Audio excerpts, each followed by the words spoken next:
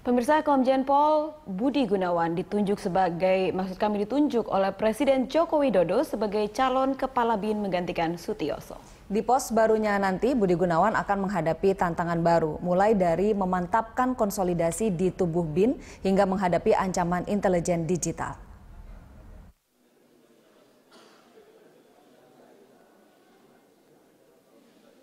Sepuluh fraksi di Komisi 1 DPR menyetujui penunjukan Komjen Budi Gunawan menjadi Kepala BIN. Sejak awal memang jalan Budi Gunawan menjadi Kepala BIN diprediksi akan berjalan mulus. Seperti diketahui, Presiden Joko Widodo melalui Menteri Sekretaris Negara Pratikno telah mengirimkan surat penggantian Kepala BIN ke pimpinan DPR sejak Jumat 2 September lalu. Dalam surat tersebut, Presiden Joko Widodo telah menunjuk Budi Gunawan menjadi Kepala BIN menggantikan Sutioso. Rabu pagi, Budi Gunawan menjalani proses uji kepatutan dan kelayakan di DPR. Usai pemaparan visi misi, para anggota Komisi 1 DPR menguji Budi Gunawan dengan sejumlah pertanyaan terkait kesiapannya menjadi kepala BIN. Setelah dinyatakan layak oleh DPR, Budi Gunawan hanya tinggal menunggu dilantik oleh Presiden. Lulusan terbaik Akpol 1983 ini ditantang memberikan laporan intelijen dan analisa berkala untuk Presiden Joko Widodo.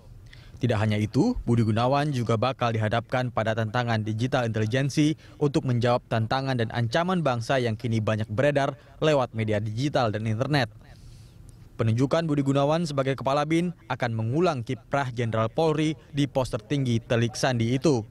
Sebelum Budi Gunawan, Jenderal Polisi terakhir yang menduduki kursi tersebut adalah mantan Kapolri Jenderal Sutanto di era Presiden Susilo Bambang Yudhoyono pada tahun 2009. Jabatan Kepala BIN selama ini memang identik dengan jenderal-jenderal dari TNI. Selain punya karir cemerlang, Budi Gunawan sempat menjadi sorotan publik. Di tahun 2015 saat jadi calon Kapolri, Budi Gunawan mendapat reaksi negatif dari masyarakat. Rumor rekening gendut dan gesekan dengan para komisioner KPK membuat Budi Gunawan akhirnya gagal menjadi Kapolri. Pemilihan Budi Gunawan sebagai Kepala BIN sebenarnya bukan tanpa penilaian miring.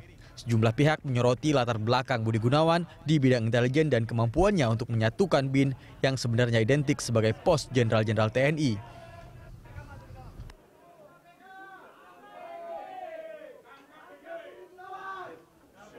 Ya.